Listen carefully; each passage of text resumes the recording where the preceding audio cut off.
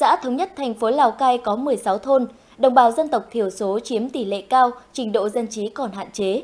Vì vậy, công tác tuyển quân phần nào bị ảnh hưởng.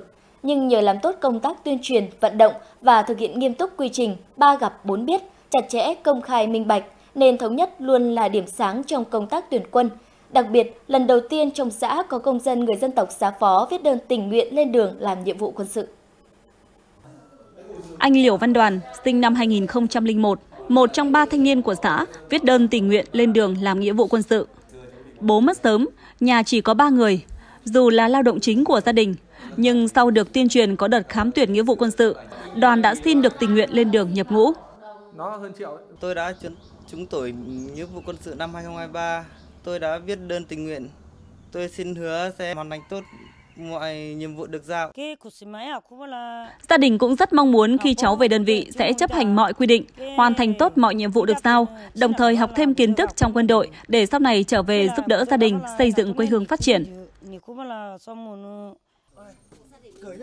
Năm 2023, Ban Chỉ huy quân sự xã Thống Nhất đã chủ động tham mưu cho Ủy ban nhân dân xã phân bổ chỉ tiêu cho các thôn, lựa chọn các thanh niên ưu tú, có sức khỏe, phẩm chất chính trị rõ ràng, tổ chức khám sâu tuyển, qua các vòng khám tuyển, đã có 5 công dân trúng tuyển, 3 công dân viết đơn tình nguyện nhập ngũ.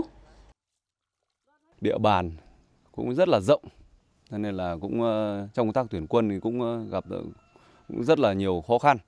Ban chỉ huy quân sự xã thì cũng đã tham mưu cho cấp ủy chính quyền địa phương và các ban ngành đoàn thể là phối hợp trong công tác tuyên truyền cho nhân dân là nắm được cái chủ trương của Đảng, chính sách pháp luật của nhà nước về trách nhiệm và nghĩa vụ của người công dân. Qua thực tế cho thấy, việc gọi thanh niên nhập ngũ ở một số địa phương có đồng bào dân tộc thiểu số, ở đâu có sự phối kết hợp nhuần nhuyễn giữa các cấp ủy chính quyền địa phương với các ban ngành tổ chức thì công việc dù có khó khăn đến mấy cũng giao quân đảm bảo đủ số lượng, chất lượng.